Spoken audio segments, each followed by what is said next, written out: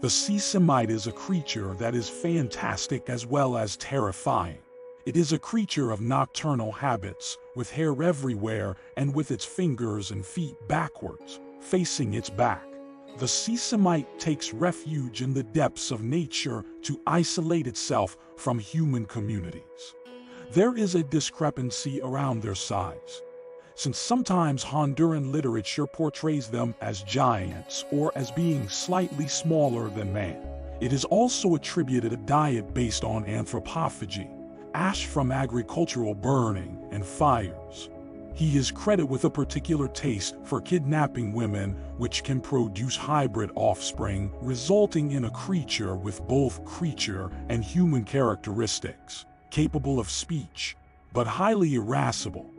The best known story of the Sea legend is that of a woman who walked through a forest in Honduras collecting branches which are used in the old wood burning ovens.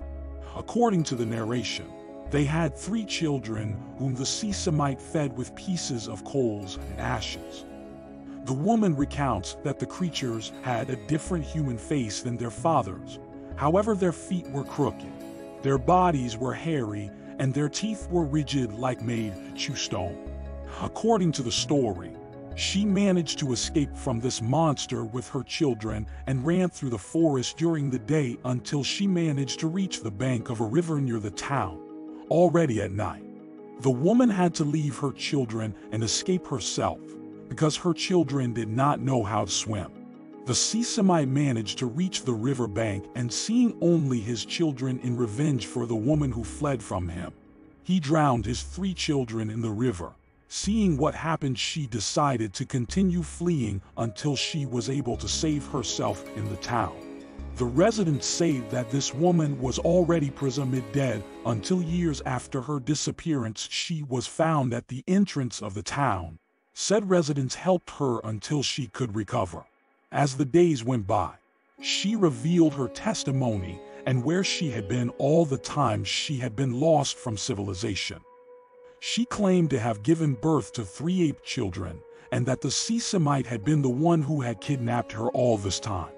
With the passing of the years, the rumor spread that the Sisimite would return in search of his wife. We never found her again and now he goes around the town from time to time looking for another young woman to kidnap. The Sisimite is the name by which this creature is known in Central America. But in Mexico, this creature is called Xeyuinik, a creature whose peculiarities are a voice like thunder, not having bones and the ability to sleep standing up. But it coincides in the size, diet, and code of the story told in Central America in addition to its characteristic backward feet. The facts are that various communities in different parts of the world portray the same creature, from Russia, Asia, Australia, and South America. To this day, it has not been possible to verify or reject the history of this fascinating creature which leaves an aura of mystery and fantasy.